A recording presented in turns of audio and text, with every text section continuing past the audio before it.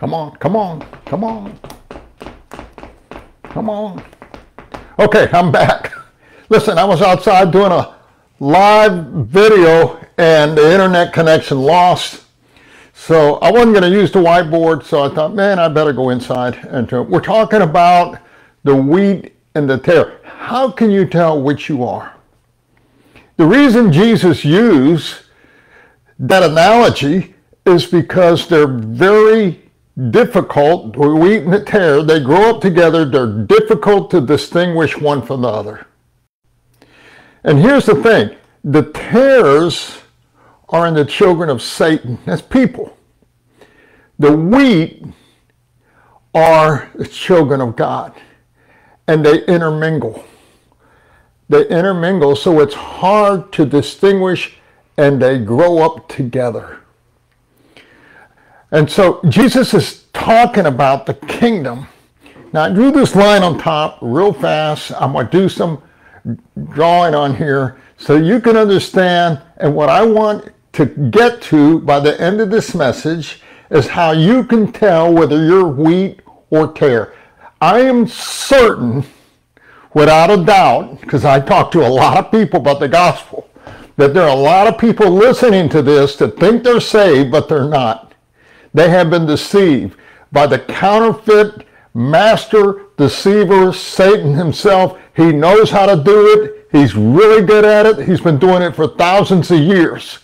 He gets people to believe a lie, whether it's in the disguise of religion, morality, going to church, denominations, giving uh, money, doing benevolent work. He has a lot of ways of getting you to believe that you're saved when you in fact you are not. Here's the danger of this is if at the end of the age, as we're going to read here, when the angels come to separate the wheat and the tare, if you're not in the right family, you're going to be thrown into the lake of fire. I didn't say that, God did. Okay, so let me read to you this passage, but first of all, let me kind of bring you up to date. Okay. This is in OT. Old Testament time.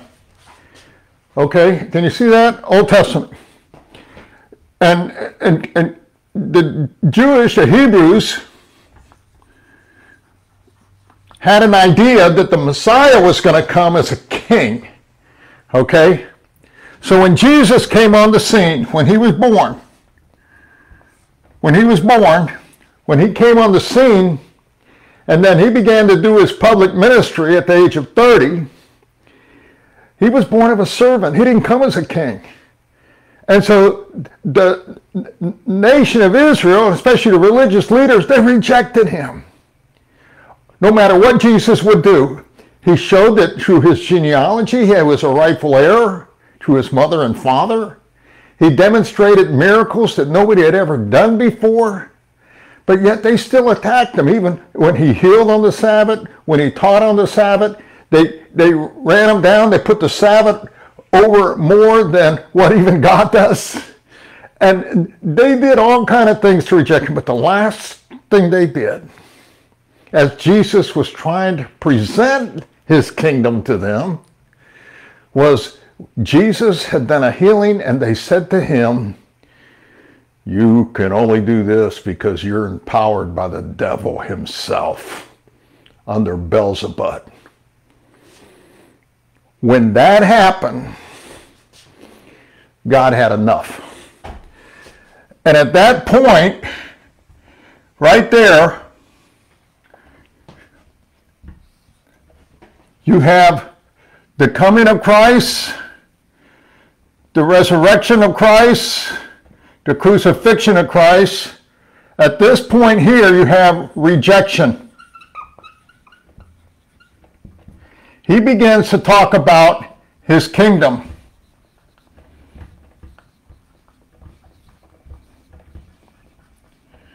And he's going to do this with parables because he doesn't want these people to know what he is talking about, but he does want the disciples to know.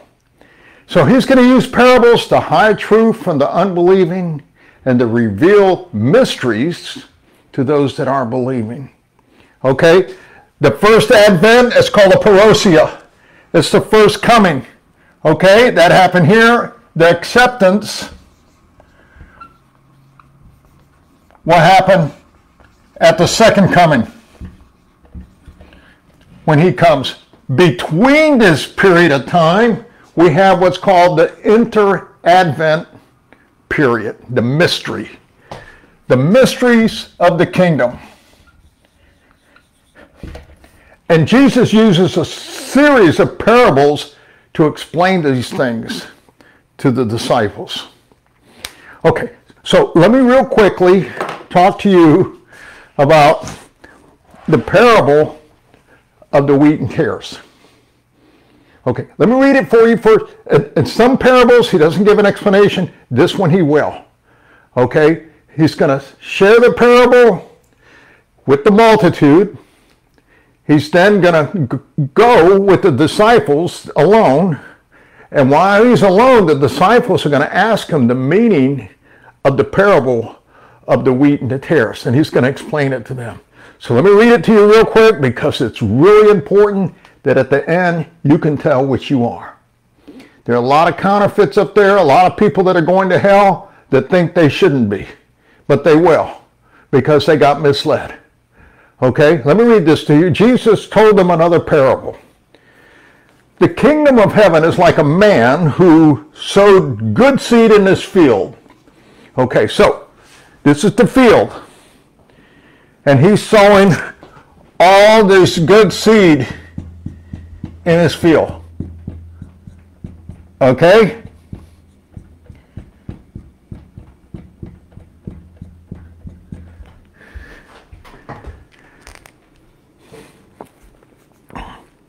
He says, But while everyone was sleeping, the enemy came and sowed weeds among the wheat and went away. So when the enemy came, he came and he sowed weeds all among Good one. All over.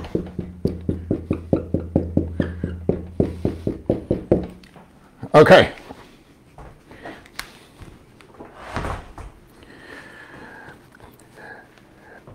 When the weeds sprouted and formed heads, then the weeds also appeared. Now the owner's servants came to him and said, Sir, didn't you sow good seed in your field? Because there were, what's all these bad seeds here? Where did the weeds come from? Jesus said, An enemy did this. So the servants asked him, Do you want us to go and pull them up? Can you imagine trying to pull all those up? It's going to get better. no, he answered, because while you are pulling the weeds, you may root up the wheat with them. So, in other words, while you're pulling out all those weeds, you may end up pulling, pulling the ones that I sowed. Don't do it. Let them go together until the harvest. At that time, I will tell the harvester, first collect the weeds and tie them in bundles to be burned, then gather the wheat and bring it into my barn. Okay, so they're going to go to two different places. One to burn, one into the barn, and another one into the fire. The good seeds, the wheat, go here. The tar, the tares go into the fire. Okay. Now, the meaning of the parable. When the crowd left, he went into a house with his disciples, and the disciples came to him and they said to Jesus, Can you explain the parable of the weeds in the field? And he answered, The one who sowed the good seeds is the Son of Man. In other words, the one who sowed these seeds was Jesus. Okay? All of these were sown by Jesus.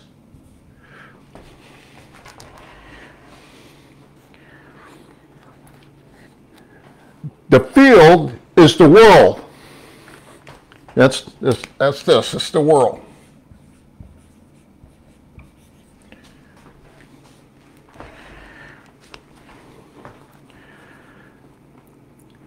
And he says, The field is the world, and the good seed stand for the sons, sons of the kingdom, and the weeds are the sons of the evil one. Don't miss that.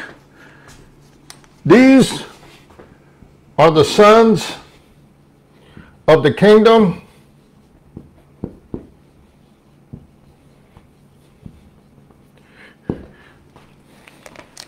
And these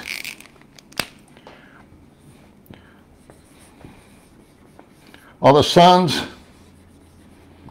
of the devil. And so on. Two families. Two families coexisting in the world which are not very distinguishable. Don't miss that. It's very, very important. Okay? He says, uh, he says, the weeds are the sons of the evil one, and the enemy who sows them is the devil. So he's identified. The harvest is at the end of the age, and the harvesters are angels. So the one that's going to separate these are angels. They're the ones that are going to go in here and they're going to separate. The angels are going to take all the ones and put them in the barn, and they're going to take all the bad ones to throw them in the fire. Okay, I love diagramming on whiteboards. I especially like if there were people here, we could start having a discussion. Manny, what about this? I said, well, you know, that's a good thought. Let's think about that. okay. I love to teach. I especially love to teach when lights come on. oh, wow. You can tell when I used to in some classes you hear that mm, mm, mm. That means they got it. Something they got illuminated in their mind and heart. Oh, oh, that makes sense. Okay. The, the weeds are the sons of the and the enemy who sows them is the devil. The harvest at the end of the age, the harvesters are angels.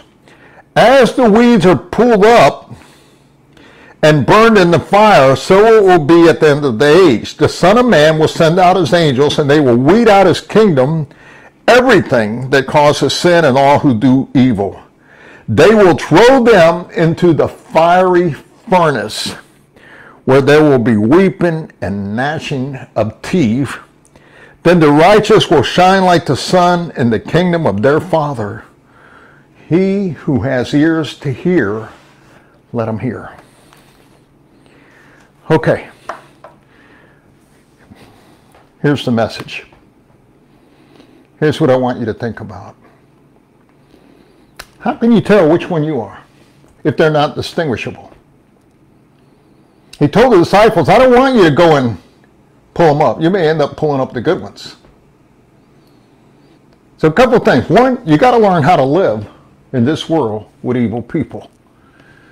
How do you do that? Okay. Second of all, if you don't pull them up, how do you recognize them? You mean to tell me they're in your church? Yes. In your schools? Yes. In your family? Probably. How can you tell if someone else is a tare wheat? How can you tell if you're terror wheat? I'm going to tell you how. Although I shouldn't. I should make you tell me how. Let me blow your mind. You can always tell your wheat if you recognize within yourself how sinful you are and how holy God is. And there's an increasing awareness of that as you grow in the Christian life. It's an inward change that happens within. Not only that, but you find inside of yourself this unsatisfiable desire to spend time in the milk and meat of His Word so you can be nourished. You also find within yourself this desire to communicate regularly with God, not on formal prayers or in a particular building, but you just have that desire to communicate with God. And you worship Him 24 7, not in the location or in a particular building playing silly rap songs or 7 Eleven music. You find within yourself the ability to sing a new song in your heart to the Lord who has done so much for you. Okay? You also have a desire to want to spend time with spiritually minded, godly, theologically sound believers, other like minded disciples. Notice I didn't say anything about giving money, about going to church. I didn't say anything about being more morally upright. Not that those things are bad, but that's not how you distinguish yourself. I know as I've been a Christian now, golly, 40, 50 years, that each day I see myself more and more sinful. And each day I see God more and more holy.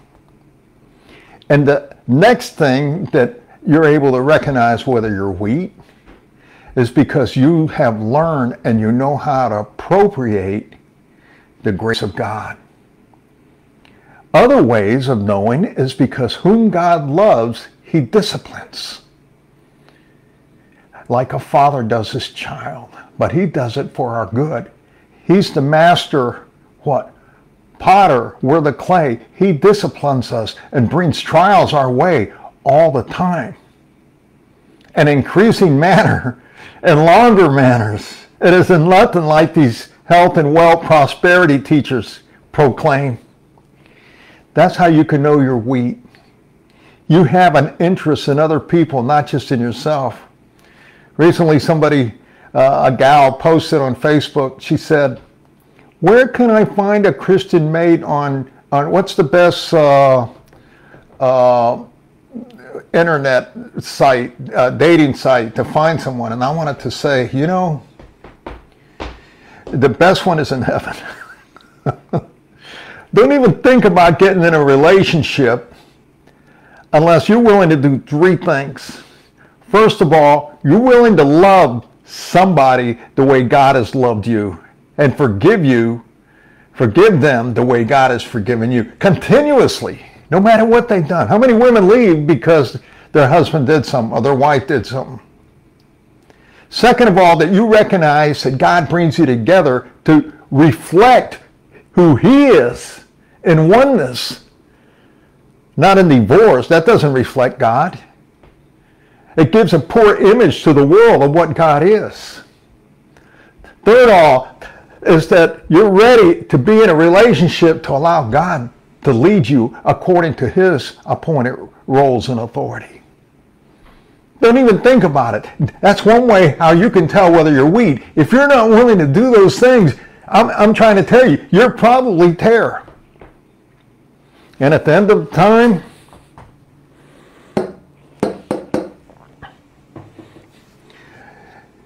you're going to be wishing you had more than just a relationship with somebody. You're going to wish you had a relationship with God Almighty through His Son, Jesus Christ. Yeah, they're not distinguishable. I don't know how many people I've rubbed shoulders with thinking they're believers only to find out that they were not. You know? But you have this inner relationship with the Lord Jesus Christ that shows that you have a new nature. Behold, old things have passed, new things have come. I've been transformed from the domain of darkness, from darkness